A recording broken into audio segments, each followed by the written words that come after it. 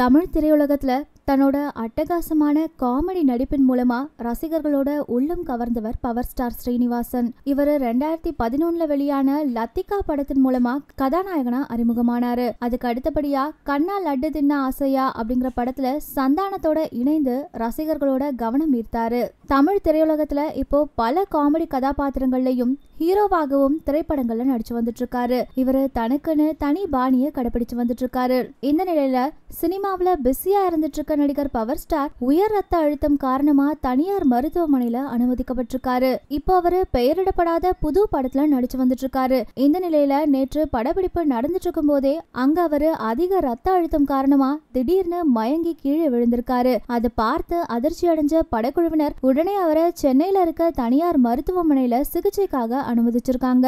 அங்க அவருக்கு தீவிர சிகிச்சை அளிக்கப்பட்டு வருவதா மருத்துவமனை தரப்புல இருந்து கூறப்படுது. ஏற்கனவே இதுக்கு முன்னாடி இந்த ஆண்டு ஜனவரி மாதம் மற்றும் பிப்ரவரி மாதத்துல ரெண்டு முறை ரத்த அழுத்த மாறுபாட்டின் காரணமா உடல்நல பாதிப்பு பவர் ஸ்டாருக்கு ஏற்பட்டுள்ளதா கூறப்படுது. அப்பவும் இதே மாதிரி மருத்துவமனையில அனுமதிக்கப்பட்டு சிகிச்சை மேற்கொள்ளப்பட்டதா சொல்லப்படுது. இப்ப திரும்பவும் இவருக்கு உடல்நல பாதிப்பு ஏற்பட்டிருக்கிறது ரசிகர்களை அதிர்ச்சியில அழுத்திருக்கு இந்த நிலையில கூடிய சீக்கிரமே பவர் ஸ்டார் குணமடைஞ்சு வீடு திரும்பணும்னு அவருடைய ரசிகர்கள் பிரார்த்தனை செஞ்சு வந்துட்டு இருக்காங்க.